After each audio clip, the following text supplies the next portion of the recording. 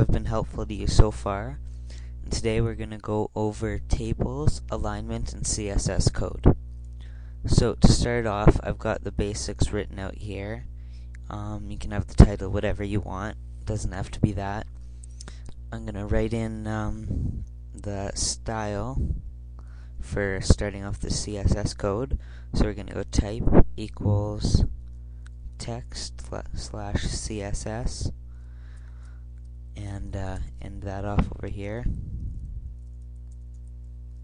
So we're gonna start off with a basic body and um, not a comma. Need some of those braces. We're gonna add um, background uh, dash color colon and type in uh, that symbol we're going to say six fives and semicolon end that off. Save that. Check your browser. And it should be this back color here. Um, go back into the text editor and go, uh, let's see here, to the body. We're going to go table, end that off. I'm gonna go uh, tr and that off td and then that as well. Then we're gonna in there we're gonna type in hello world. Keep it all spread out keep it organized. Um, save that check out and it'll say hello world. There's no background or anything. It's just gonna say hello world.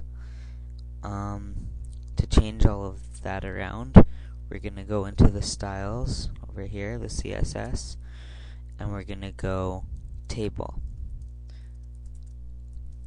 Add some braces in there, type in background color, colon, and we're going to have it black, which is six zeros. And we're going to have color, which is going to be the font color. We're going to have that white, which is um, six Fs. Save that. do it, You're gonna see that it has the table has the back black background and the white text. So go into your editor again and um, under TD right here um, go to the next two lines type in another TD and that off and then type in hello or yeah, hello, second world. Oops. Save that, view it. It's gonna just show it right beside that. So go back in, and we're gonna add a border to the table. So above background color, doesn't really matter where you put it in the table part, but go border, one px or pixel, and dashed Actually, no, we're gonna have this solid. And um, the color will be 5555, no, 556699. Yeah, and save that. Then if you view that, you can have a nice blue background, uh, border here. And that goes around the whole table, not each individual cell. So to get it around the cells, we have to use IDs. So I'm going to show you how to use that now.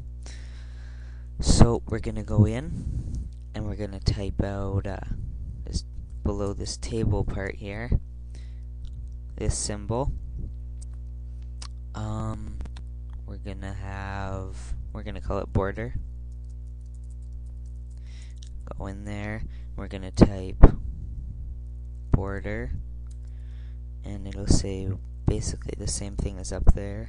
Actually, we're gonna have this one inside one dashed and the color will be that color. 6699 okay. So if you look at it it won't have changed anything. I saved it. It doesn't change anything because it's not anything yet. It's just an ID we haven't said anything yet. So go into the TD the first TD make sure we're gonna get it also go ID equals border then to the next one, id equals border. I'm going to save that. If you go in here, uh, click refresh, it's going to show you that. You have individual cells marked off. You can highlight through them. Um, and uh, we're going to make a next row thing here. So at the end of the TR, we're going to make a new TR. That, I'm to make a new TD. And that off as well. So if we go and look at this, we're going to say hello third world. Try and spell it right. Third world. Okay. And we're going to say colspan equals 2. And that means that it's going to go across two columns instead of just going across the one. Is well, actually, I'm going to show you before you add colspan and then after. So if you refresh it, it's gonna. You can see that right here, it moves this hello world out because it's in the same row, right? So we're gonna go. Um,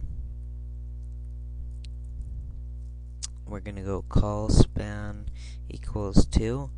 That means that it's gonna uh, take up both of these columns instead of just the one. So it has the room to go across both.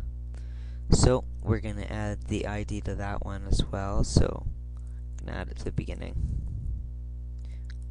ID equals border.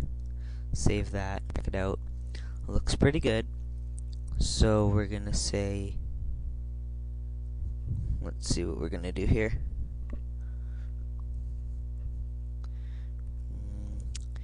we're going to go to the table part here at the very top again. Not very top, but yeah, of the body. We're going to go uh, width equals 850. Um, cell padding, no, cell spacing. Spacing equals 5, and that's the space between the cells we're going to go cell padding is the space between the border and the text. We're going to have that equal 3. And we're going to go um,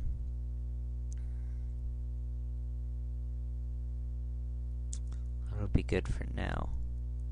So we're going to view that so you can see that it's gotten bigger and it's more spread out.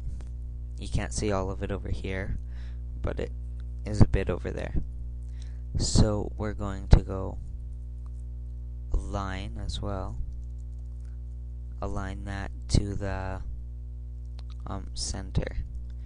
And that'll move, so save that, view that, it moves it all to the center. So, what we're going to do now is I'm going to show you how to hover over things with CSS.